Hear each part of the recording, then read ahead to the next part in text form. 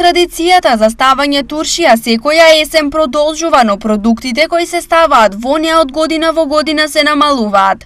Заборавени од младите, но не и од постарите, а се почесто заборавени од производителите, се малите динчиња кои се ставаат во туршија. Динчињата за зимница за туршија за преку зимото. Тоа е многу баво, квалитетно. Исто ли се одгледуваат како и нормално? Да бе, да, да, да, тоа е нормално се огледува земјоделска култура е тоа. Па, кој си им потражи, си зима, се троши. Цената на ово овоше кој е едно од редките кој може да се стави во туршија е 40 денари, а традицијата за ставање по старите не ја прескокнуваат. Ставам, лувеничиња не ставам, динчиња ставам. Дали младите ги сакаат да јадат? Сакат, сакат ги, ама не се стават, а им се јаде.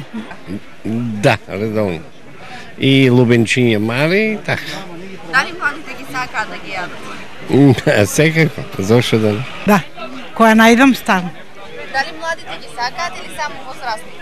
Ја, па сакат ги со ракијичка. Иако е сезона на зимници, градскиот пазар не беше пон со пазарџи, а продуктите за зимница се уште во мали количини. Другите производи на градскиот пазар се продаваа по следниве цени. Компир 25, лубеница 20, диња 10, домат 50, крставица 30, банана 60, јаболко 25, праска 50, зелка 50 и пиперка 40 денари за килограм.